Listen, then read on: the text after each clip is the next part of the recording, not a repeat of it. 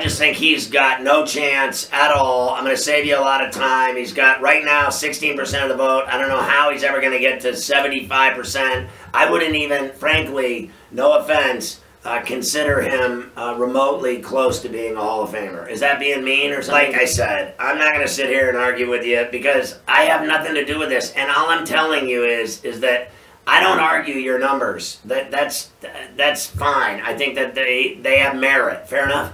But the baseball writers, the ones that do the voting, people that have the right to vote, they're not giving him any respect at all. Okay? So take a real good clue. When they say no way, I'm just backing it up saying, trust me, when you're at 16, you're finished.